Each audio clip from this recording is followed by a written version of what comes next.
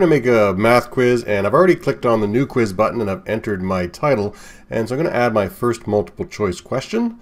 So I click on add question and choose choice.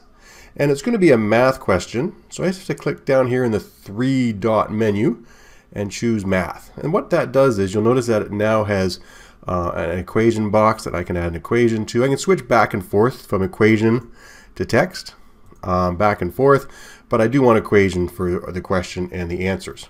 So I need to put in a fractional expression. So let's see, 2x, whoops, 2x squared, and I'm just typing in, I could use the, oops, sorry, 2x squared minus 2x uh, minus 12. I could be using the uh, buttons down here, but for superscripts, it's just as easy to hit the shift 6 uh, if you do it in the right place shift.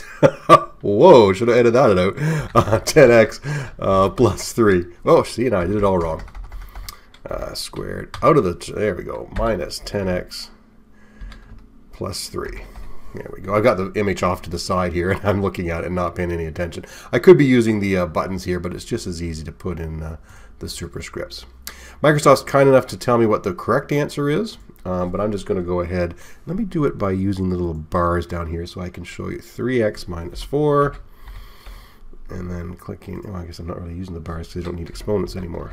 Okay, click OK, and the next one, 3x. Oh, see, I didn't do the fraction. I There we go. 2x minus 1, click OK. Add another option, fraction, 2x plus 4, 3x minus 1, click OK, add an option, 3x minus, oh, see, I didn't do it again. That's what I'm used to digital ink, 2x minus 1. There we go.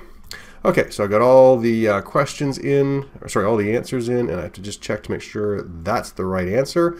So if they get it right, they're going to get that nice. Uh, make it worth two points, and make it required and it's good to go. Uh, hit share, copy that URL, send it out, and away it goes. Okay, hope that's helpful. Thanks very much.